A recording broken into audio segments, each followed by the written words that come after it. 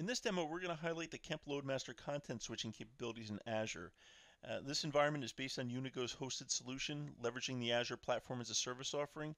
And although Unigo's solution was the inspiration of this demo, it's not a complete representation of their story. Uh, it will, however, show the value that Kemp LoadMaster brings to these type of solutions. So let's jump right in. Uh, we're going to start off in the Azure portal. So here I have four web apps defined. Uh, now these are just generic web apps. Uh, they can be, you know, the idea is they can be a combination of, of anything. You know, you may have some Umbraco, uh, .NET, maybe Java, or, or, a mobile component to your solution.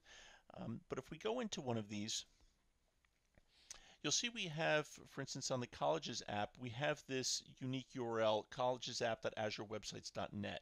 Uh, now, the, each of these other web apps have a have a, a unique URL as well. Um, but the idea is we don't want to have, you know, certainly could set up your navigation to, uh, you know, start navigating to all these different unique URLs, but that's, you know, really not the experience you want your customers or users to have. So you really want to have them all under a single URL. So let's look at the Kemp Loadmaster and see how we could bring it all together. So within the Kemp Loadmaster, we have two virtual services. Uh, the first one is, is simply a redirect. So we want to redirect all uh, port 80 you know, slash HTTP traffic to HTTPS. We want to have that all encrypted. So if I expand out the virtual service for our application, you'll see we have four sub-virtual services. And these all correspond back to those web apps that we created in, in Azure. And we have the corresponding IP, public IP address for each of these web apps.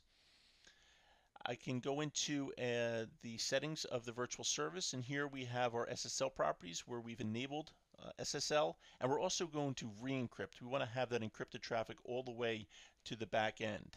Uh, applied my certificate as well.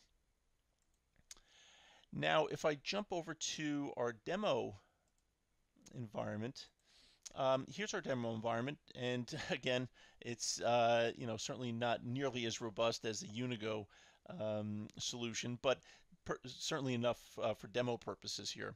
So as I start navigating around, you'll see my URL is www.kempdemo.com, and if I go to colleges, uh, I'm maintaining that uh, kempdemo.com, although I'm jumping to a different web application in Azure, uh, as well as scholarships.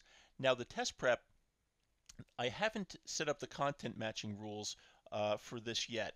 Now, again, I certainly wouldn't set up my um, navigational item before I had all my content rules, but for demo purposes, I just wanted to uh, kind of show that.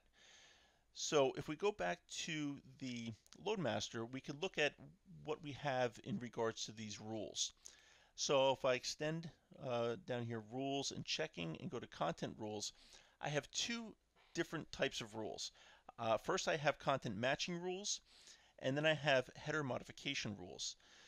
So these are going to work together and, and, and I'll explain how. So to start off with our content matching rules, we have one for each of our web apps uh, that are deployed in Azure. And here we're just basically doing a simple match to say if we see anything uh, slash colleges or we see anything slash scholarships or slash test prep, we want to um, set a match for that. Uh, so if I go in and modify these, again, just simple regular expression. So we can really do a lot of different things with this, right? It's not just going to be based on these virtual directories. You know, you can use all different kind of header fields. Uh, but here, uh, once again, we're just looking at the virtual directory slash colleges uh, we're going to ignore case, and then we're going to be setting a flag. And if I cancel this, you'll see here we have a unique flag set for each of our content matching rules.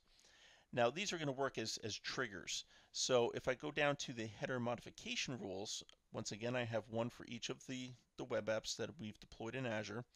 And if I look at the college replace, what we're going to be doing is we're going to be looking at the pattern um, of www.kempdemo.com and we're going to replace it with that unique URL that we were looking at before in, in Azure. So for instance here, collegesapp.azurewebsites.net. But we're only going to do that when we see um, the flag set to three and we have one for each of these as well. So to apply these rules, first thing we're going to do is we're going to go into the virtual service and under advanced properties, uh, first off, we've already enabled the content switching, uh, so we don't need to worry about that. Here under our header modification, we just need to apply that test prep rule. So we already have our other three um, applied already. So here I can just apply that. And then if I go back down under the sub VS's, I have my rules applied. So if I go into colleges here, you'll see I have my college match rule applied here. And all I'm going to need to do is for my test prep, I'm just going to need to apply that test prep match rule here. And we'll go back and back. And we're just going to let this revalidate and make sure everything is uh, healthy. And now that it finished validating, everything is still good. We can now go back to our uh, application here. And now as we start clicking around, we have colleges, scholarships, and now we have the test prep, which you just actually pulled that whole application uh, into our solution um, by just applying those content rules. So uh, again, the idea is if this was a, an acquisition um, and you didn't want to recode it um, to whatever the rest of the site platform is built on, um, you just basically use those content matching rules to bring this component into your solution. Okay, so that about wraps up our demo.